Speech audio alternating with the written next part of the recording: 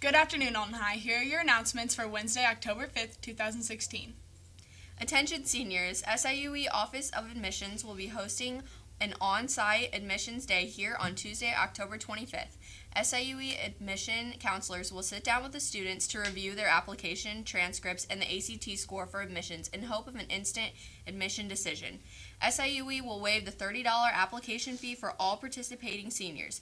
Interested seniors should go to the guidance office as soon as possible to pick up the SIUE application and a transcript request.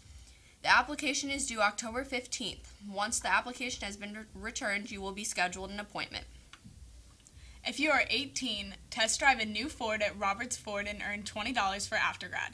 If you're not 18, find someone who is 18. October 8th from 9 to 4 is when this is happening. We can earn up to $6,000.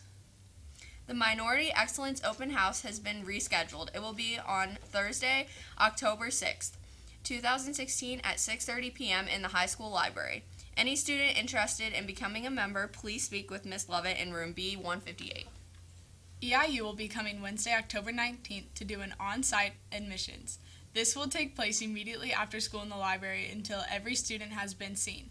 The rep for EIU will be able to evaluate your transcript on the spot to give you an estimate of the amount of money you may receive should you attend. The application fee will also be waived if you apply that day. If interested, please sign up in the guidance office and submit a transcript request to Mrs. Moore, our register, so we are allowed to release your transcript to the rep. Today, during the lunch hours, the art therapy team will have a table in the high school cafeteria where students are invited to stop by to artistically respond to hashtag. The prompt for this week is hashtag AHS, hashtag express yourself, hashtag encourage yourself. Visit the intro art table today, Wednesday, October 5th, during your lunch hour. The activities are free of charge. We hope to see you there.